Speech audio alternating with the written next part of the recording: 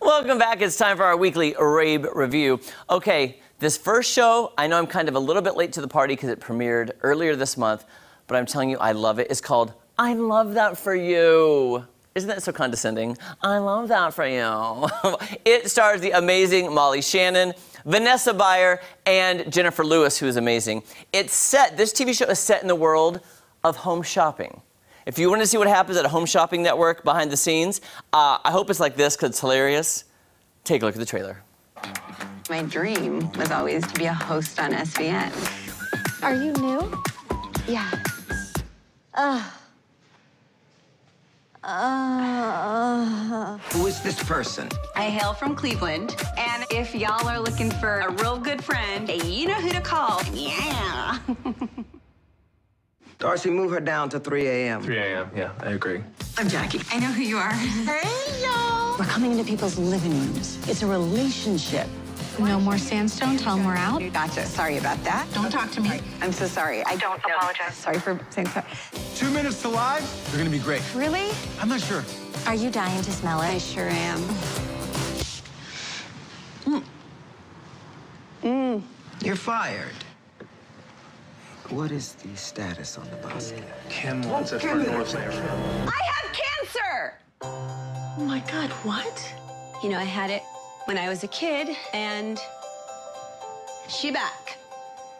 But you did have it. You had cancer. But she's saying she has it now. She doesn't have it now. Hey, Jesus, you're not gonna take this one yet.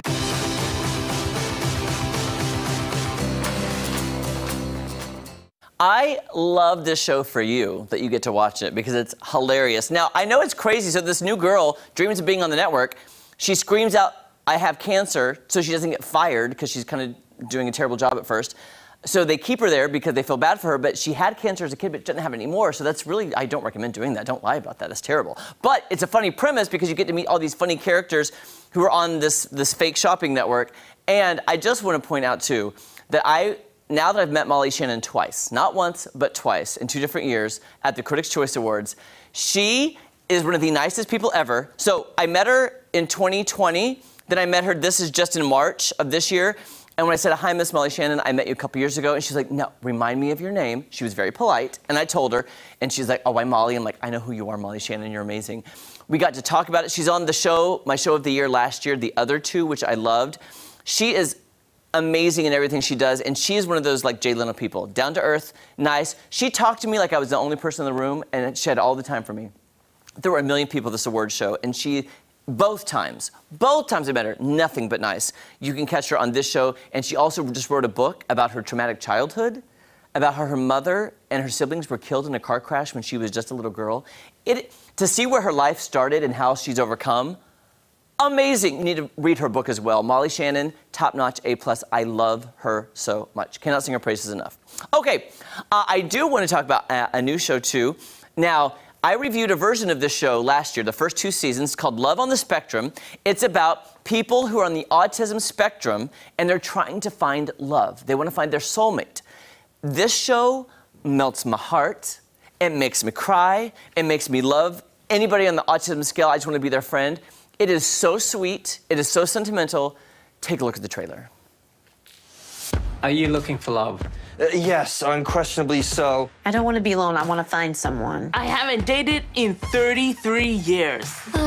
You could imagine I have to kiss many frogs to find the right guy. Nope.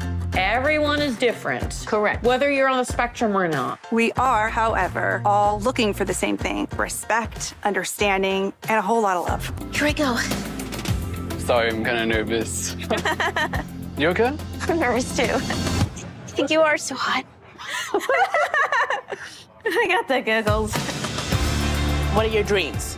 My dream is to meet somebody. and I finally got to meet you, and I think you're really cool. I like her so much. This is so fun. You're my lion and I'm your lioness. I really like how you hold my hand. Cheers to us autistic people that are coming over leaps and bounds, now possibly finding love. What do you want to do in the future? Imagine what you and I do if we go have an adventure. seeing from the heart and from the soul is much more important. And I think this is what true love means. It's gonna be a new chapter. Yes! I want to cry just watching that because it's so sweet and it's just the common commonality of being a human of wanting love. Everybody wants love, they seek it, they want to find that soulmate and that's all they want and I'm just like, man, if that doesn't tie you together with all of humanity, I don't know what does. It's so sweet. It is so special, and I, I, love the show. The US version is now on Netflix, and you can also watch the two seasons of the Australian version also on Netflix. Okay, quickly, I do want to touch on Downton Abbey because now listen, I know I'm a TV critic, but Downton Abbey used to be a TV show, and now it's a movie. And I went to the movie with all my friends here at Fox AM. I had high expectations. It did not disappoint. I want to quickly just remind you about how awesome Downton Abbey is. Take a look.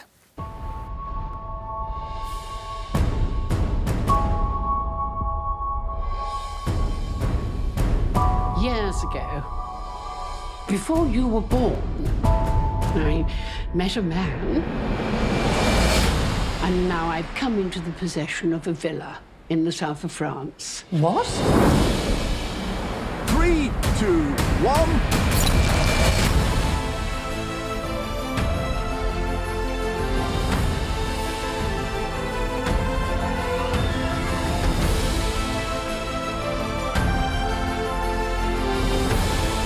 They better be warned. British are coming.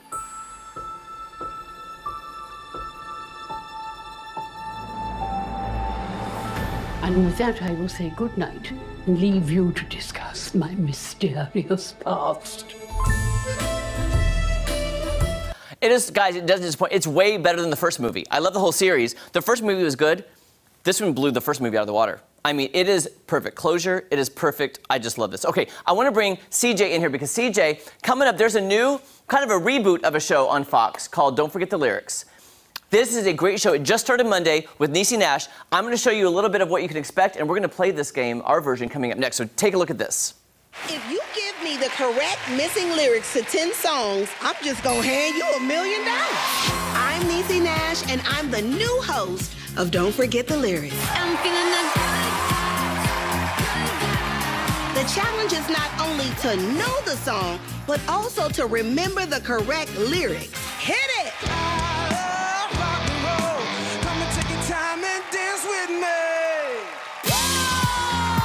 People do not believe they're going to forget the lyrics. I don't know the words, but da, da, da, da.